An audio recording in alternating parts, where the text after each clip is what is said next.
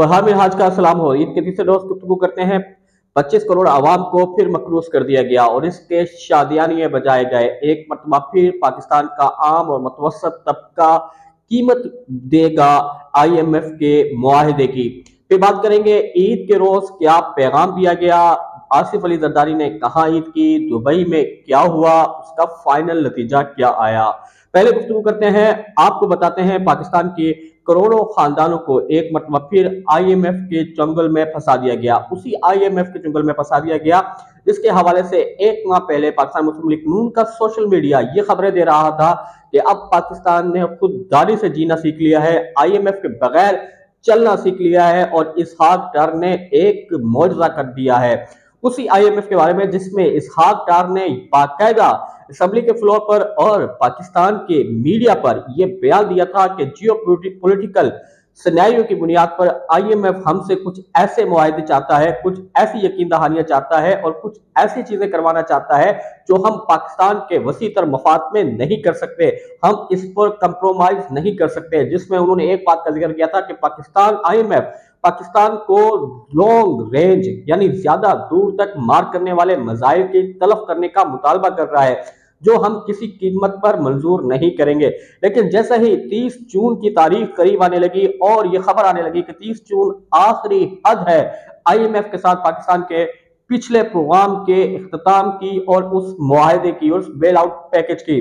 पाकिस्तान के वज़ीर अजम की जानब से फ्रांस में माशी कॉन्फ्रेंस के दौरान M D I M F से मतवातर मुलाकातें, मतवातर फ़ोन, आम की पेटियों के तोहफे, यकीन दहानियाँ। उसके बाद कुछ ऐसा मेडिकल होने लगा कि पाकिस्तान का बजट जो कौमी असम्बली में पेश किया गया, जो अखबार में बयान किया गया, जो सियासी रहनुमाओं ने बताया, उससे बहुत बहुत मुख्तलिफ़ तौर पर एक महँगा तरीन और आम आवाम के ऊपर अजाब बनकर नाजर करने वाला बजट अचानक से तब्दील करके आईएमएफ की मन और मर्ज़ी और मंशा के मुताबिक पास करवा दिया गया।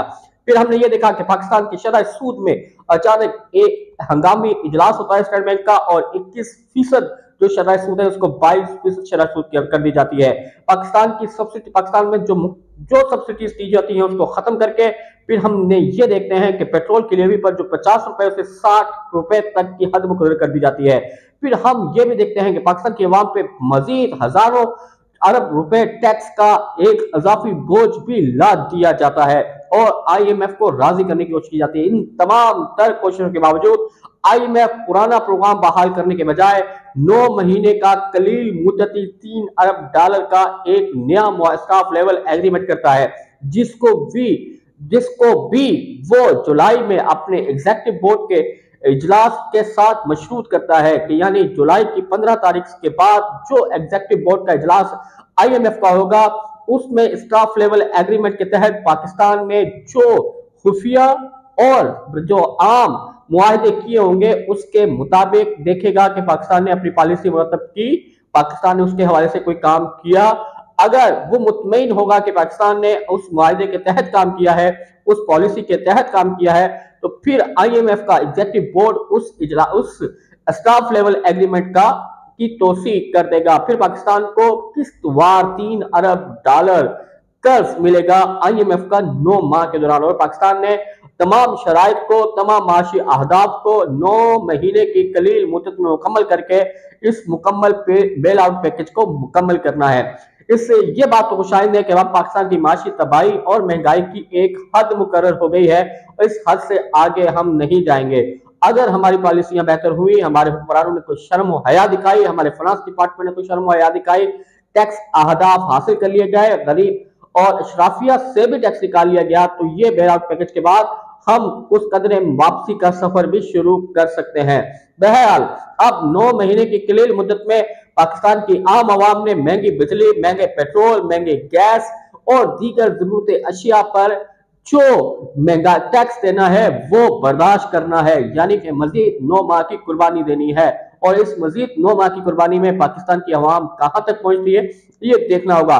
दूसरी तरफ़ दुबई में पाकिस्तान की तमाम सियासी जमातें तरीक इंसाफ को छोड़ के तरीके इंसाफ पर फौज चढ़ाकर तरीके इंसाफ के ऊपर बाकायदा तौर पर एक गैर अलानिया पाबंदी लगाने के बाद पाकिस्तान की दीगर सियासी क्यादत दुबई में इकट्ठी हुई और पाकिस्तान के सियासी मुस्तबिल का फैसला करने लगे। करने के लिए बैठे गए। आसिफ अली जरदारी ने वहाँ बड़ा छक्का मारा है और आसिफ अली जरदारी ने बड़ा छक्का ये मारा है कि पंजाब जहाँ पाकिस्तान पीपल्स पार्टी की दो से तीन से चार से ज़्यादा सीटें नज़र नहीं आती। आसिफ अली जरदारी ने उस सूबे में ज़्यादा से ज़्यादा तीस के करीब सीट एडजस्टमेंट पाकिस्तान मुस्लिम नून से मांग ली है और जहाँ पाकिस्तान मुस्लिम लीग नून पंजाब की हसूल की कोशिश के लिए हर हद अबूर करने को तैयार है, हर बगैरती की हद अबूर करने को तैयार है। हर बूट पॉलिश करने की हद अबूर करने को तैयार है। वो पाकिस्तान मुस्लिम लीग नून पाकिस्तान पीपल्स पार्टी के इस मुतालबे के बाद हक्की बक्की रह गई है। उन्होंने वापस किया है आसिफ अली जरदारी को लगाम देने की कोई कहा, कहा है।